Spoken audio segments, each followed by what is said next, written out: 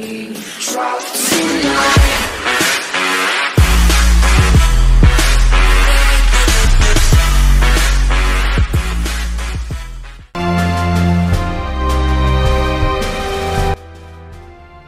Infiniti appears to be finding its voice again as a brand ostensibly focused on performance. As evidence, we present, of all things, its newest small crossover, the QX30, which was derived from the Mercedes-Benz GLA class platform, itself a derivative of Benz's CLA sedan.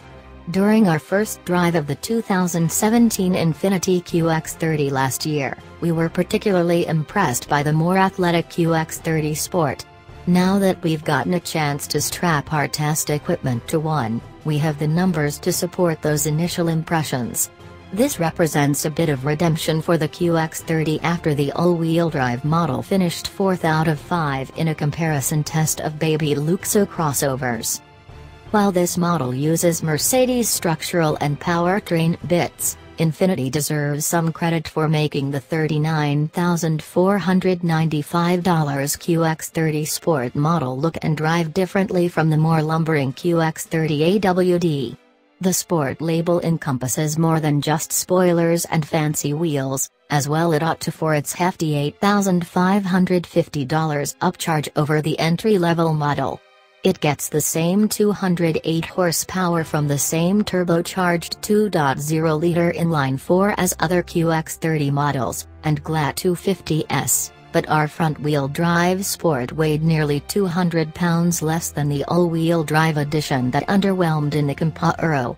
It also rides 0.8 inch closer to Earth than the base front-drive version. That lowers the center of gravity enough to make it feel more like a hot hatchback than a shrunken SUV.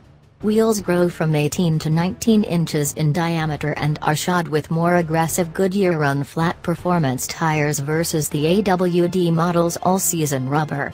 As in all QX30s, the transmission is a 7-speed dual-clutch automatic. While none of the sport model's cosmetic touches nor its aggressively contoured sport seats make it a better performer, each adds a measure of engagement to the experiences of approaching, entering, and interacting with the car. It's a different animal. For one thing, it's a quicker animal.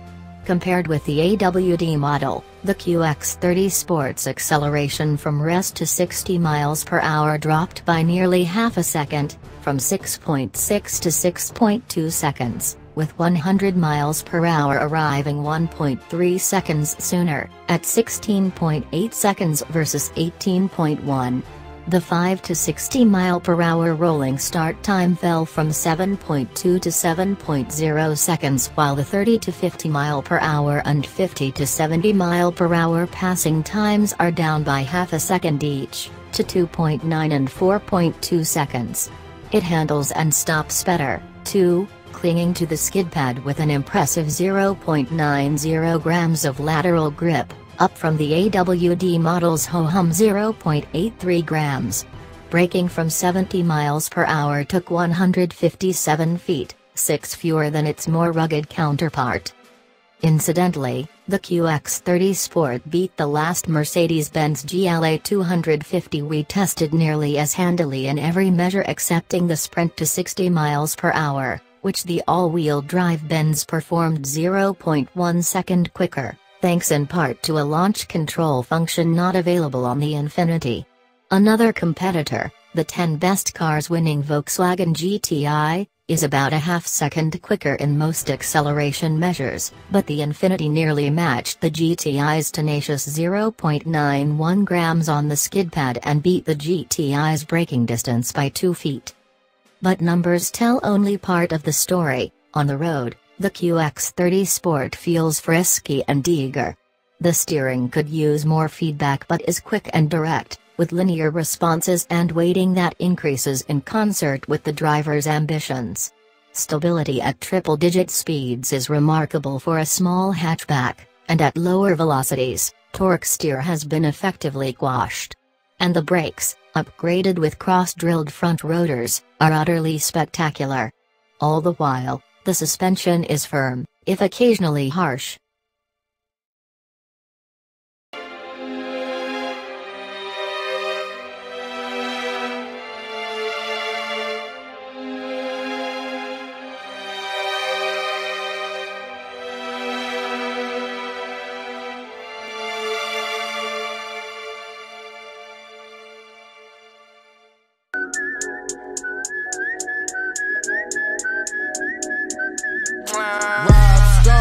Two damn phones. Babylon's came.